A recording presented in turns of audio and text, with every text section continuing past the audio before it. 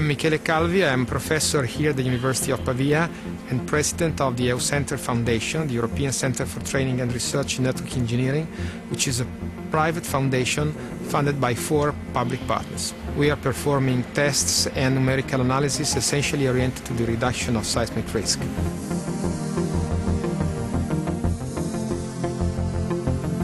In about 20 years of cooperation, we have gone through several different kinds of tests. Uh, it is difficult to condensate them in a few words, but I would guess that the most important results came out from some testing on uh, infill wall systems, in which case MURFOR proved to be a very effective measure to reduce the effects of, of an earthquake on a structure and particularly to reduce the probability of an out-of-plane collapse of masonry walls after some in-plane damage took place by adding some light amount of uh, reinforcement in the horizontal mortar beds, it is possible to reduce the probability of collapse of the walls.